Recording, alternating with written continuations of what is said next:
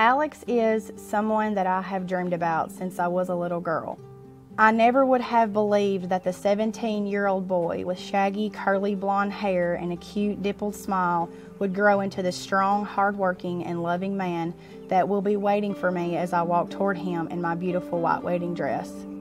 Through the years we dated, we grew together, prayed together, sacrificed together, argued together, and even laugh together. But most importantly, we love together. Through my sleepless night because of the excitement that Alex will become my husband, I can't help to think as I get ready how blessed I am and God's wonderful faithfulness to give me an incredible man to share this life with and watch it grow. Today, we make a covenant as husband and wife that we will forever love one another and fight for this life we are about to build. Today is the day we will remember and cherish as our hair turns gray and the wrinkles crowd the spaces on our cheeks. This is the beginning of our journey together, and lots of memories will be made. I'll never forget that this is a once in a lifetime love, and I will always look at Alex and call him home because home is where I want to be. I choose Alex this day and every day. All of my love for all of my life, Wesley Alexander Davis. See you at 5 o'clock. Don't be late. Growing up, I always prayed that God would bring the right woman to my life. One that would love the Lord, one that would be humble, one that would put others before herself, one that would support me in all things I do, one that listens to me and hears what I have to say. Cecily was my high school sweetheart.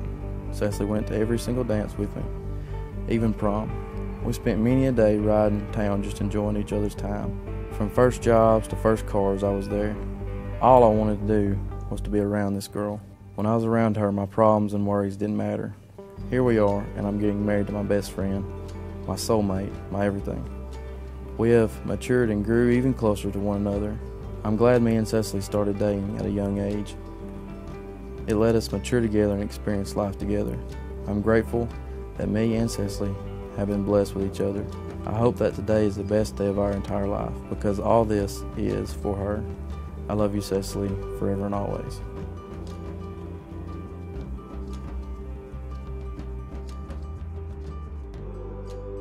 In marriage, the little things are the big things. It's never being too old to hold hands. It's remember to say I love you at least once a day. It's never going to sleep angry. It's standing together to face the world. It's speaking words of appreciation and demonstrating gratitude in thoughtful ways. And it's having the willingness to always forgive. It's not only marrying the right partner, it's being the right partner. A wedding that we're experiencing here today is an event, but marriage is a process that only you can make successful by honoring and living out the vows that you will make to each other today. In marriage, you will always either be growing together or growing apart. So we wish for you to always be growing together. We wish that on the day in the far distant future, when you're both much older than you are right now, that you look into each other's eyes as you're going to be doing here this evening, and may you say to each other, I love you, and because God sent you into my life, I became a better person.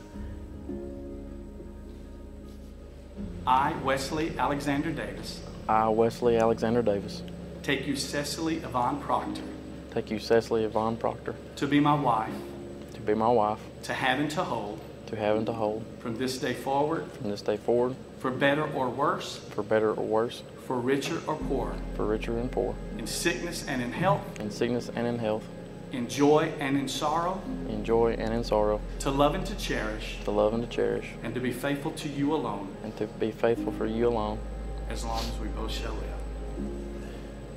What? As long as we both shall live. As long as we both shall live. It'll be a long time, Alex. Yes.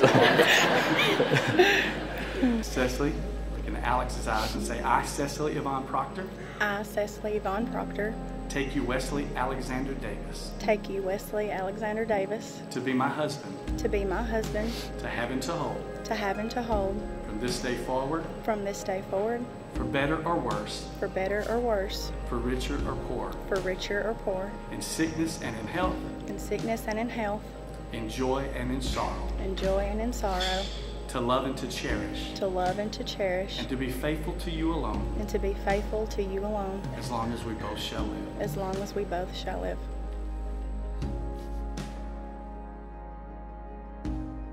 Alex and Cecily, you've come before God and these witnesses today to express your desire to be husband and wife.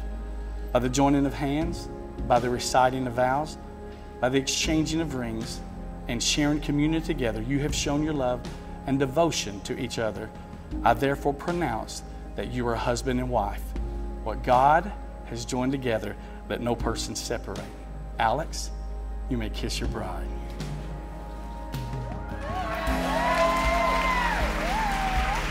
There's one thing that I do know about these two. Um, they have dedication. Dating for over six years and staying loyal the whole time. Now that's love. And they really inspire me, you know? It's hard to find that these days. And they are truly passionate about each other. I mean, you can just tell by how they look at one another, especially up here on stage. It's really beautiful. Alex has waited and fought for Cecily. He finally got out of the friend zone, but the reason he never gave up was because he had seen her heart and knew it was made for him. God made each of them with the other in mind. Anyone can see how perfect you two are together. I stand here today honored to know each of you as individuals, a couple, and now husband and wife. I pray blessings over y'all's new marriage, and that is all God has planned for you both. I love you lots. May the Lord bless you, and may the Lord keep you. May the Lord make his face to shine upon you. May the Lord be gracious to you and give you his peace. May the Lord bless your going out and your coming in. May the Lord bless you with his favor and peace, love and joy and abundance. May the Lord bless your children and your children's children, and may he give you the desires of your heart, may the divine purposes of your life be supernaturally accomplished. May you hear the word of Jabez, Oh, that you would bless me indeed and increase my territory. May these blessings come to you and to those you love. In Jesus' name.